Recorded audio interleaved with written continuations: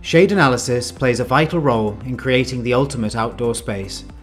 Making sure you receive shade at the correct time of day is essential to ensuring your comfort and getting the most out of your shade product.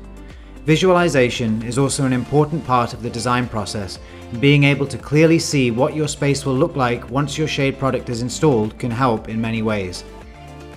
Our shade analysis and design rendering service includes a 3D custom rendering showing the shade pattern typical for midday in July.